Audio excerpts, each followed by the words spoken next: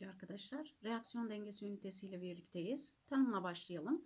Çift yönlü olan tepkimelere denir. Yani tersinir tepkimelerdir. Denge şartlarımız %100 yani tam verim yoktur denge tepkimelerinde. Sistemin mutlaka kapalı olması gerekir. Dengede derişimler ve sıcaklık sabittir. Dinamik bir olaydır yani stabil değildir. Şöyle açıklayabiliriz. Maksimum boyutta olay durmuş gibi görülür ancak minimum boyutta devam etmektedir. Bir başka şartımız ileri hızın geri hıza eşit olması demektir. Minimum enerjiye eğilim ve maksimum düzensizliğe eğilim birbirine zıt yöndedir. Maksimum düzensizliğin bir diğer adı ise entropi. Minimum enerjiye eğilim enerji açısından değerlendirirsek entalpi reaksiyon ısısı yani entalpi olarak tanımlanabilir. Maddenin fazları üzerinden bunu açıklarsak arkadaşlar doğada tüm maddeler fazlarına göre katılar sıvı olmak ister, sıvılar ise gaz fazına eğilim gösterirler.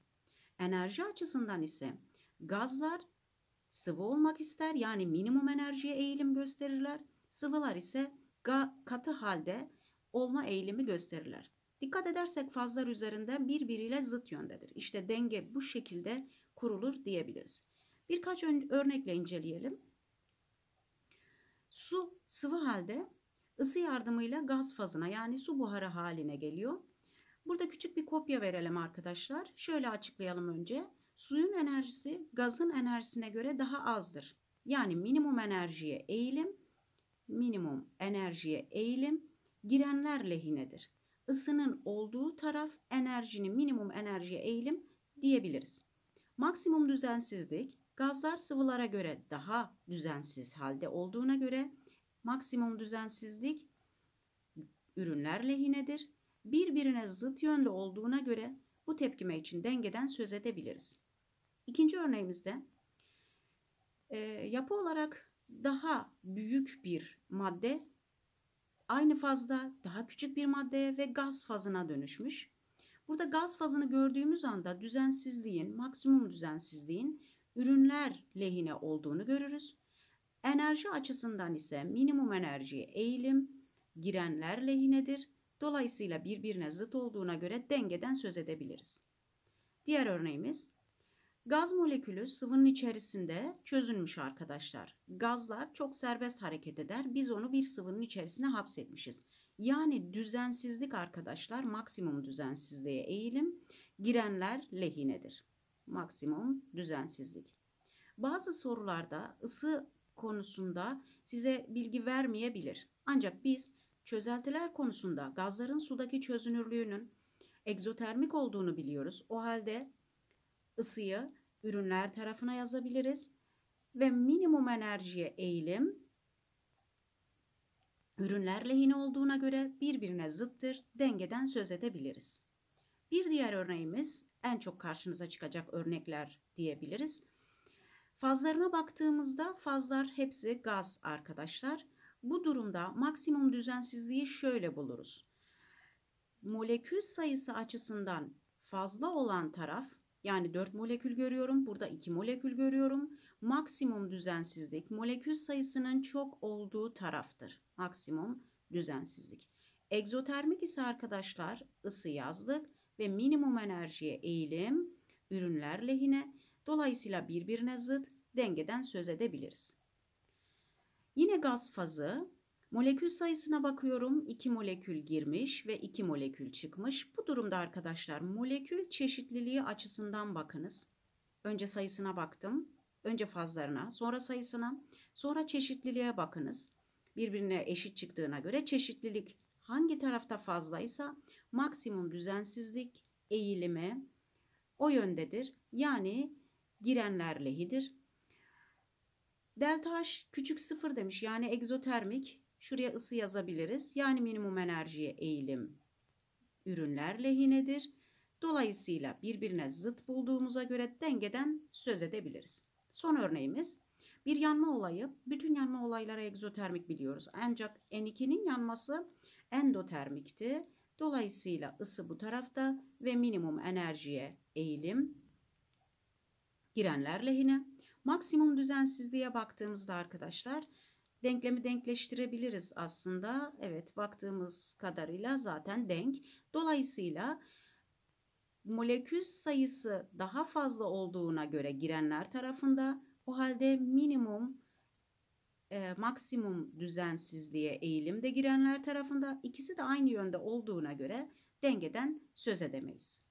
Dengeyi sınıflandırırsak arkadaşlar farklı yönleriyle denge ikiye ayrılır.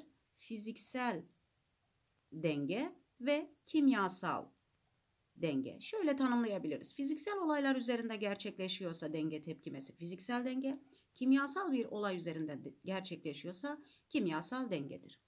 Bir başka yönüyle denge yine ikiye ayrılır. Homojen ve heterojen denge. Şimdi bir çözdüğümüz örnekler üzerinden bunları değerlendirelim. İlk örneğimizde e, su molekülü su buharı molekülüne dönüşmüştü. Yani molekül yapısı korunmuş. Yani fiziksel bir olaydır. Dolayısıyla arkadaşlar ve denge de söz konusudur. Bu olay fiziksel dengedir.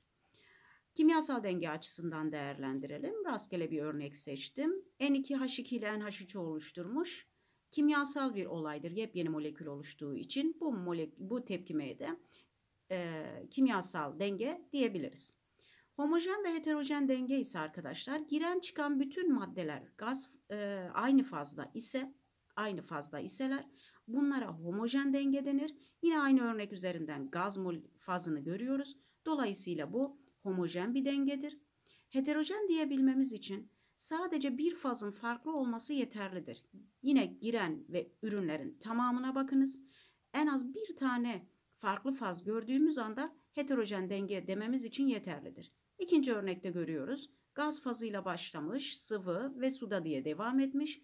O halde bir tanesinin farklı bulmamız yeterlidir. Heterojen denge diyebilmemiz için. Denge bağıntısı ve denge sabiti başlığıyla devam edelim. Elimizde bir reaksiyon var. X, Y'nin Z'ye dönüşüm reaksiyonu.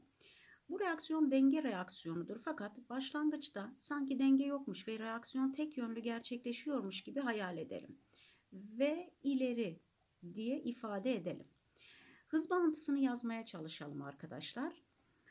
V ileri K ileri çarpı ne demiştik hız bağıntısında? Reaktiflerin derişimlerinin çarpımıdır. Katsayılar üst olarak yazılır. Yani x çarpı y katsayılar ise üzeri a ve b şeklindedir. Şimdi de sanki reaksiyon ters olarak gerçekleşiyormuş gibi hız bağıntısını yazalım. Yani buraya da v geri olarak tanımlarsak v geri k geri çarpı bu durumda z reaktif olacaktır. Yani z'nin c kuvveti şeklinde. Denge şartlarında şöyle bir şey söylemiştik arkadaşlar. V ileri v geriye mutlaka eşittir. İleri hız geri hıza eşittir. Biz de birbirine eşitlemeye çalışalım. K ileri çarpı xy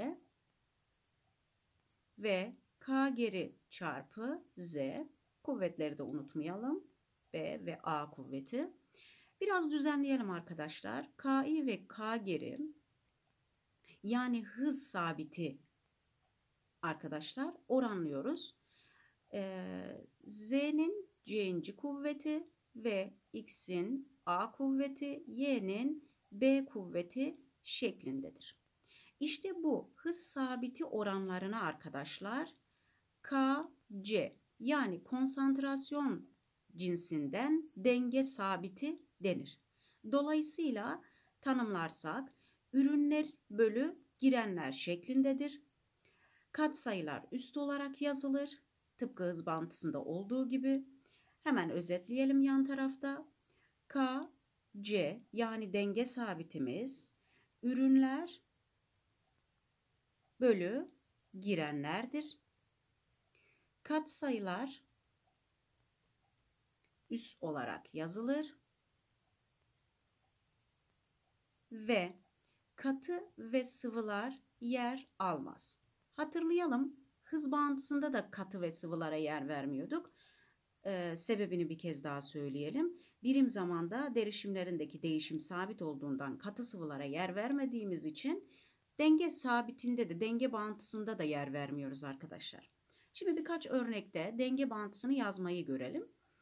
İlk örneğimizde fazlarına dikkat etmemiz gerektiğini söyledik. Görmezden gelelim. Neydi KC değerimiz? Ürün bölü giren. Ürünlerde neyi görüyoruz? Karbondioksitin derişimi bölü karbon monoksitin derişimidir. Katsayılar birebir görüyoruz zaten. İkinci örneğimizde arkadaşlar gaz fazlarını kontrol ettim. Ürün bölü giren yani SO2'nin üçüncü kuvveti ve SO3'ün ikinci kuvveti şeklindedir. Üçüncü örnekte sulu çözeltiler denge bağıntısında yer alır. Çünkü hız bağıntısında yer alırdı. Ancak sonuçta bir katı var. Dolayısıyla görmezden gelelim. Ürünlerde herhangi bir şey yok. Denge bağıntısı olarak hiçbir şey, bir şey yok. Dolayısıyla 1 bölü kurşun iyonlarının derişimi çarpı klor iyonlarının derişiminin karesidir.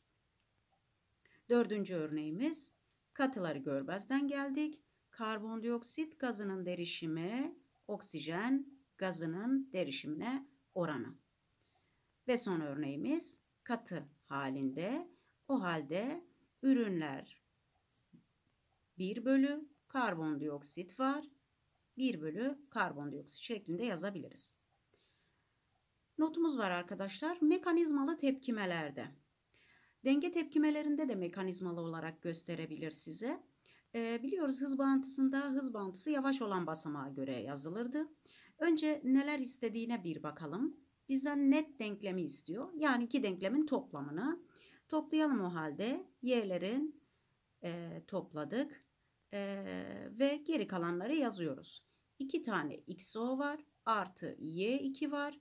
Ve son durumda ise iki tane X, O, Y şeklinde yazılır. Hız bağıntısı arkadaşlar yavaş olan basamağa göre yazılırdı. Dolayısıyla yavaş basamağımız ilk basamak olduğuna göre R eşittir K çarpı XO ve Y2'nin derişimlerinin çarpımıdır. Peki denge bağıntısı acaba yavaşa göre mi, hızlıya göre mi yoksa net tepkimeye göre mi yazılır diye bu sorunun cevabı için notu hazırladık. Denge bağıntısı arkadaşlar net tepkimeye göre yazılır. Yani KC eşittir ürün bölü giren demiştik arkadaşlar. Yani XOY'nin karesi bölü XO'nun karesi çarpı Y2'nin derişimi şeklindedir. Bu arada gaz fazı diye belirtelim bütün maddeleri dikkate aldığımız için. Sevgili arkadaşlar şimdi de denge bağıntısı ile ilgili birkaç soru çözelim. Tepkimesi verilmiş gaz fazında KC değerimiz 8. Hız sabiti geri hız sabiti 2. ileri hız sabitinin ne olduğunu soruyor. Denge bağıntısını yazarken hız sabitlerinin oranları olduğunu söylemiştik. İleri hız sabiti ve geri hız sabitinin oranıydı. O halde yerine koyarsak 8 eşittir. K ileri bölü 2'den K ileri 16 olarak bulunur. İkinci sorumuz. Tepkimesi verilmiş. 6 mol X, 4 mol Y var. Hacmimiz 2 litre. Dengede Y'nin %50'si harcandığı görülüyor. KC değeri nedir? Y'ye bakıyoruz arkadaşlar 4 mol verilmiş. %50'si 2 moldür. 2 mol harcanırsa kat sayılardan arkadaşlar bu arada gaz fazı diye belirtelim bunlar için. Hepsi bütün maddeler için. X'ten 2'ye 1 oranından 2 mol harcanırsa Y'den X'ten 4 mol harcanacaktır. Z'den ise kat sayılardan 4 mol oluşacaktır. Son durumda 2 mol, 2 mol ve 4 mol madde olacak dengede. Hacme bölelim ve derişime geçelim arkadaşlar. 1 molar 1 molar ve 2 molar. Kc ürünlerin derişimleri bölü girenlerin derişimleriydi. Katsayılar unutulmamalı. 2'nin karesi bölü 1'in karesi çarpı 1'den sonuç 4'tür. Üçüncü örneğimiz tepkimesi verilmiş gaz fazında Kc değeri 8'miş. 6 mol ve 4 mol girenlerden var. Tepkimede 2 mol PCl 5 var ise hacim ne kadardır diye soruyor. Dengeye ulaştığında e, ürün mollerden 2 mol oluştuğuna göre arkadaşlar başlangıçta yoktu. 2 mol oluştuğuna göre demek ki CL2'den katsayılar oranınca 2 mol harcanmıştır ve PCl3'ten de 2 mol harcanmıştır. Dengeye gelindiğinde dengeye gelindiğinde elimizde 2 mol var ve buradan 2 mol var ve 4 mol olur. KC eşit diyelim burada. 8 hacimlere bölelim ve öyle yerine koyalım isterseniz. Burada bulalım. Bölü 2 bölü V çarpı 4 bölü V. Sadeleştirdiğimizde arkadaşlar V'nin 32 olduğunu buluruz. Bir diğer sorumuz. Derişim zaman grafiği verilmiş. Tepkimeler gaz fazında gerçekleşiyor. Tepkime denklemi nedir diye sorulmuş. Maksimum düzensizlik yönü ve Kc değeri. Bir tepkimede azalanlar arkadaşlar girenlerdir. Oluşanlar ise üründür. O halde yazalım. X Y girmiş ve Z'yi oluşturmuş. Burada arkadaşlar şimdi rakamlara bakalım. Elimizde 5 molar varmış. 4 molarda durduğuna göre 1 molar harcadık ve denge durumda da 4 molar var. Y'de başlangıçta arkadaşlar 4 molar var. 2'de durduğuna göre 2 molar harcadık ve son durumda 2 molar var. Z'de başlangıçta yoktu ve 1 molar oluşmuş. Denge durumunda da 1 molar. Önce tepkimeyi denkleştirmeliyiz arkadaşlar. Burada başlangıç ve son yani denge durumuna bakılmaz. Harcanan ve oluşanlar kısmına bakılır. Ve bunlar hiç düşünülmeden katsayı olarak yazılabilir. O halde yazalım. 1, 2 ve 1 şeklinde. Şimdi arkadaşlar tepkimeyi yazmış olduk. X 2'ye Z'yi oluşturuyor. Maksimum düzensizlik yönü gaz fazında olduğunu belirtmiştik başlangıçta. Düzensizlik hepsi gaz fazında ise molekül sayısının fazla olduğu taraftı. Yani girenler tarafıdır. Tepkime denklemini bulundu, bulundu ve KC'ye geçelim. Ürün bölü giren demiştik. 1 bölü 2'nin karesi çarpı 4 yani 1 bölü 16 şeklinde buluruz. Bir diğer sorumuz.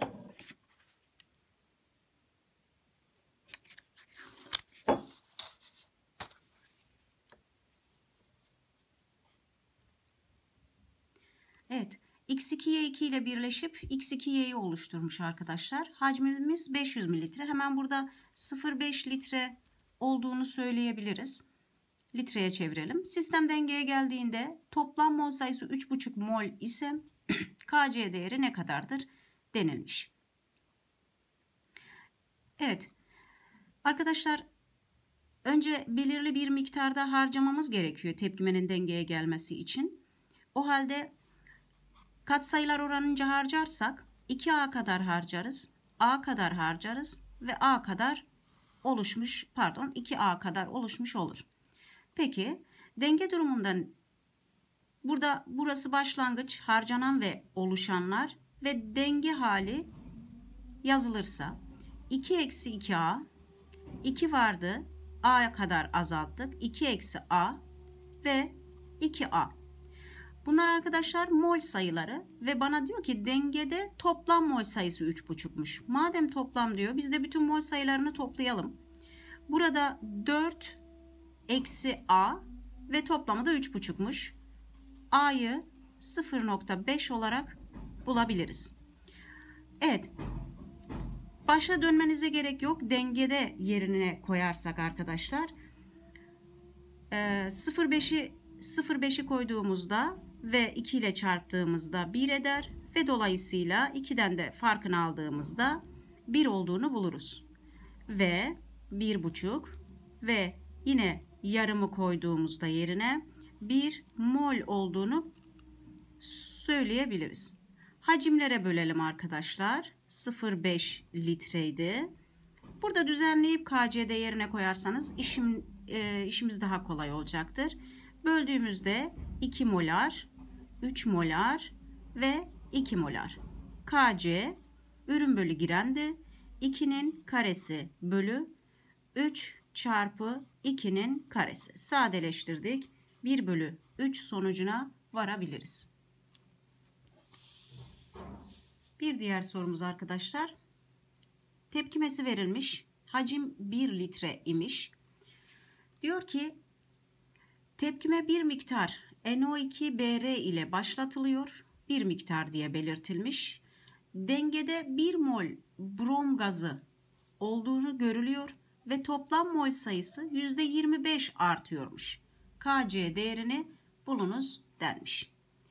Şimdi bir miktar NOBR ile başlatılmış. Biz de buna A diyelim arkadaşlar. Ve dengeye gelindiğinde harcamalar ve oluşanlar sağlandıktan sonra dengeye gelindiğinde 1 mol brom varmış. O halde oluşma miktarı 1 mol ve dengede de 1 mol brom gazı var. 2'ye 1 oranından burada da 2 mol oluşacaktır. Tabii ki dengede de. Ve yine 2'ye 2 oranından 2 mol azalacaktır. Dengeye geldiğinde A eksi 2 mol var. Hacim 1 litre diye hatırlatalım. Yani 1'e böldüğümüzü düşünün lütfen. Şimdi başlangıçta A kadar vardı miktarımız. Ee, son durumda yani denge durumunda ise toplayalım arkadaşlar. A artı 1 kadar var. Cümleyi bir daha okuyalım. Toplam mol sayısı dengeye gelindiğinde %25 artıyormuş. Başlangıca göre %25 artıyor demek %25'i 1 molara ya da 1 mole denk geliyor.